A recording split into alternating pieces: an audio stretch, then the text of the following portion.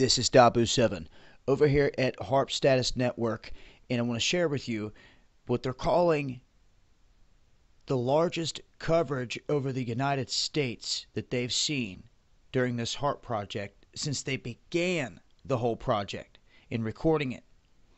As you can see here, the pattern cutting right down through here and what I wanted to point out with this whole thing, since they have this at alert level red, detected 11 8 2014, and you can see where, where it sits here. Now, see where the pattern's at? Coincidentally, matches the polar vortex almost perfectly.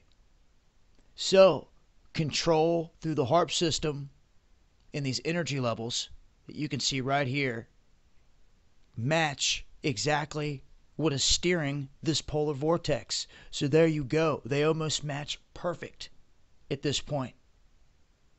I'll leave links. Keep you guys posted as I come across more. It's been Dabu7. Eyes open.